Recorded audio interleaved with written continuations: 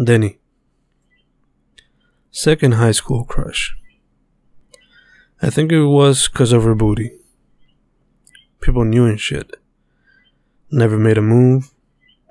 Promised myself not have a girlfriend till college. Además, she also had a boyfriend.